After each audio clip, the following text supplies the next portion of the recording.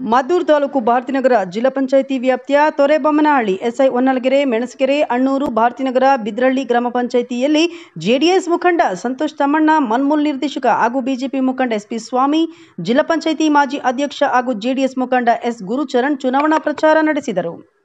ಕ್ಷೇತ್ರದಲ್ಲಿ ಯಾವುದೇ ಅಭಿವೃದ್ಧಿ ಕಾರ್ಯಗಳು ನಡೆಯುತ್ತಿಲ್ಲ.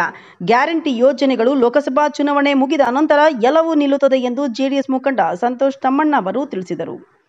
ಮನ್ಮೂಲ್ ನಿರ್ದೇಶಕ ಎಸ್ ಪಿ ಸ್ವಾಮಿ ಅವರು ಮಾತನಾಡಿ ಎಚ್ ಡಿ ಕುಮಾರಸ್ವಾಮಿ ಅವರು ಜಿಲ್ಲೆಯ ಸಂಸದರಾಗಿ ಆಯ್ಕೆಯಾದರೆ ರಾಜ್ಯದ ಸಮಸ್ಯೆಗಳನ್ನು ಪರಿಹರಿಸಲು ಕೆಲಸ ಮಾಡುತ್ತಾರೆ.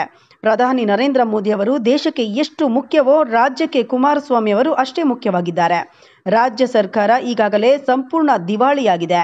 ರಾಜ್ಯದಲ್ಲಿ ಅಭಿವೃದ್ಧಿ ಕಾರ್ಯಗಳು ಸ್ಥಗಿತಗೊಂಡಿದೆ. ದೇಶದ ಅಭಿವೃದ್ಧಿಗಾಗಿ ಜನತೆ ಬಿಜೆಪಿ, ಜೆಡಿಎಸ್ ಮೈತ್ರಿ ಬೆಂಬಲಿಸುವಂತೆ ಮನವಿ ಮಾಡಿದರು. ಈ ವೇಳೆ ತಾಲೂಕು ಜಾತ್ಯತೀತ ಜನತಾದಳ ಘಟಕದ ಅಧ್ಯಕ್ಷ ಚಿಕ್ತಿಮ್ಮೇಗೌಡ, ಮುಖಂಡರಾದ ರಘುಗೌಡ, ಮಾಜಿ ಜಿಲ್ಲಾ ಪಂಚಾಯಿತಿ ಸದಸ್ಯ G M Manu, Karadkere Hanumanthegowda, H M Marimathegowda, ಗ್ರಾಮ ಪಂಚಾಯಿತಿ ಮಾಜಿ ಅಧ್ಯಕ್ಷ ವೆಂಕಟೇಶ್ ಕರಿಯಪ್ಪ, ರಘು, ಮಾಜಿ ಸೈನಿಕ ಸತೀಶ್, ಕೆಟಿ ಸುರೇಶ್ ಸೇರಿದಂತೆ ಹಲವರಿದ್ದರು. ಸರಿ, ಯಾರೋ ಒಬ್ಬ ಹಣಕಾಸಿನಲ್ಲಿ ಬಹಳ ಪ್ರಬಲವಾಗಿರುವಂಥ ವ್ಯಕ್ತಿ ಬಂದು ಇವತ್ತೆಲ್ಲ ಕಾಸ್ಟಲ್ಲಿ ನಾನು ಮಂಡ್ಯ ಜಿಲ್ಲೆ ಮತ ತಗೋತೀನಿ ಅಂತ ನಿಂತಿರ್ಬೇಕಾರೆ ಯಾಕಂದರೆ ಅದಕ್ಕೆ ಬಲುಪುಷಿ ಆದಂಥವ್ರು ನನ್ನ ತಂದೆಯವರು.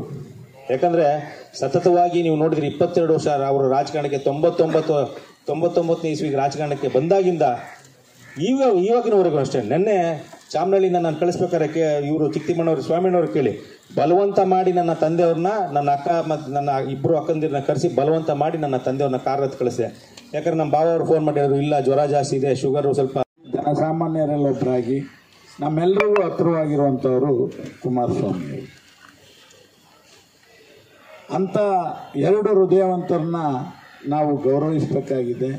ಅವರು ಮಾಡಿರುವ ರೈತಪರ ಕೆಲಸಗಳು ದೇವೇಗೌಡರ ಕುಟುಂಬ ಕಾವೇರಿಗೋಸ್ಕರ ಹೋರಾಟವನ್ನು ಇಲ್ಲಿವರೆಗೂ ಕಾನೂನಿನ ಕಾನೂನಿನ ಹೋರಾಟವನ್ನು ಕೂಡ ಇಂಥ ಇಡೀ ಕೂಡ ನಮ್ಮ ದೇವೇಗೌಡರು ಸುಪ್ರೀಂ ಕೋರ್ಟ್ವರೆಗೂ ಹತ್ತಿ ಬರ್ತಿದ್ದಾರೆ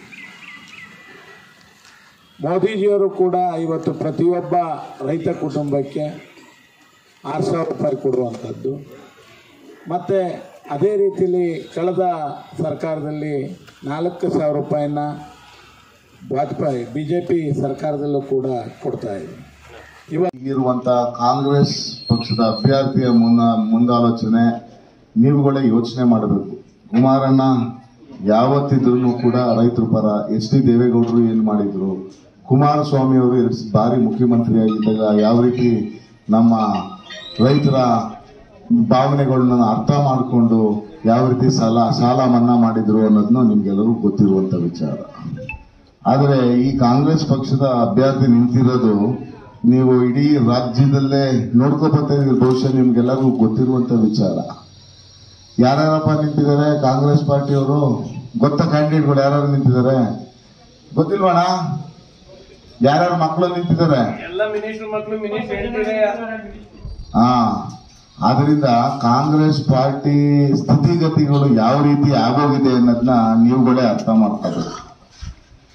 ಆಮೇಲೆ ಎಂತೆಂಥ ಲೀಡರ್ಗಳು ಕಾಂಗ್ರೆಸ್ ಪಕ್ಷವನ್ನ ತ್ಯಜಿಸಿ ಬಿಜೆಪಿ ಪಕ್ಷವನ್ನು ಸೇರಿದ್ದಾರೆ ಅಂತ ನೀವು ಅರ್ಥ ಮಾಡ್ಕೋಬೇಕಾಗಿದೆ. ಯಾಕೆಂತಂದ್ರೆ ಅರ್ಧ ಜನ ಯಾರು ಇಲ್ಲ. ಅಲ್ಲಿ ಇರೋದು ಬರೀ ಕೇರಳದವ್ರು ಒಂದು ಐದಾರು ಜನ ಅವರೇ.